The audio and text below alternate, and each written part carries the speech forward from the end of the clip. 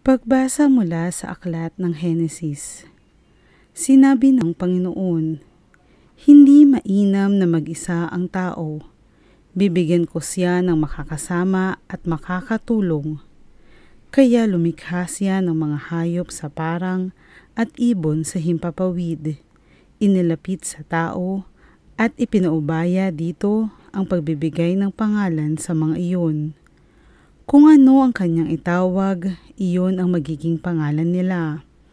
Ang tao nga ang nagbigay ng pangalan sa lahat ng ibon at mga hayop, maging maamo o mailap.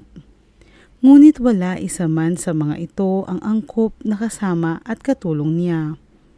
Kaya't pinatulog ng Panginoon ang tao.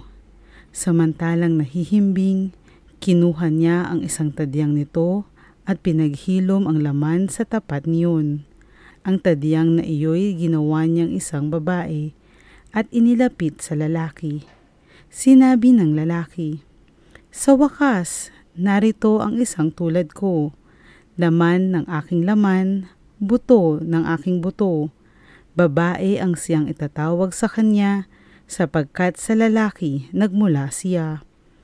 Ito ang dahilan kaya iniiwan ng lalaki ang kanyang ama at ina upang sumama sa kanyang asawa, sapagkat sila'y nagiging isa.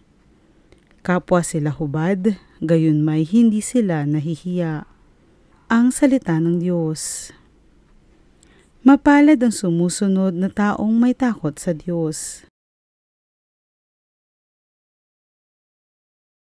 Mapalad ang bawat tao na sa Diyos ay may takot. Ang maalab na adhikay sumunod sa kanyang utos. Hindi siya magkukulang sa anumang kailangan. Ang buhay ay maligaya't uunlad ang kanyang buhay.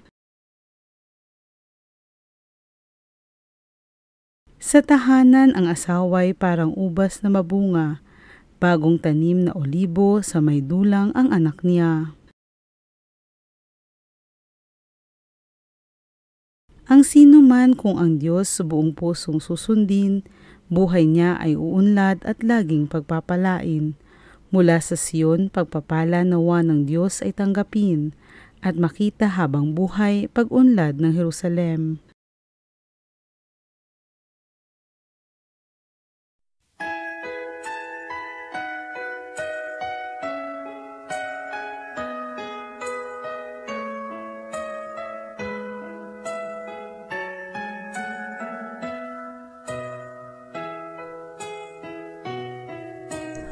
Alleluia, Alleluia, Alleluia.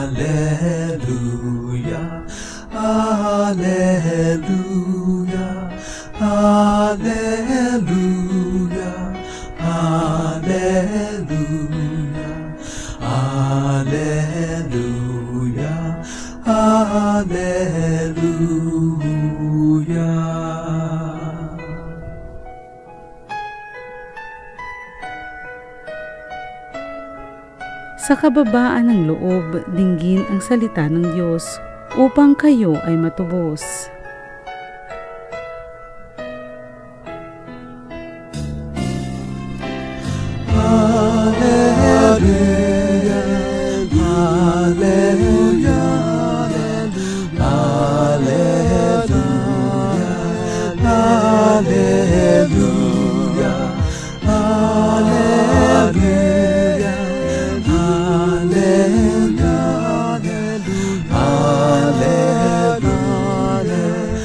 Hallelujah.